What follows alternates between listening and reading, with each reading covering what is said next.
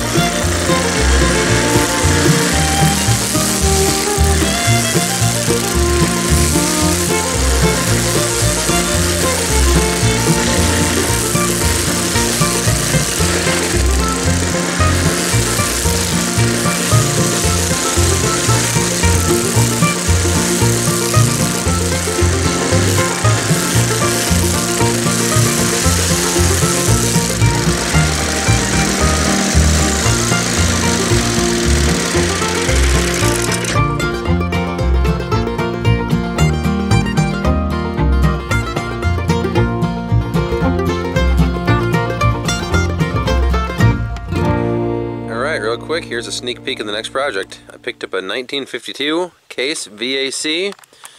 It's in rough shape, but I only paid $200 for it. And it came with a Woods 5 foot um, finish mower, so I can't complain on that front. Not going to restore this thing, just merely going to get it um, going, mechanically sound.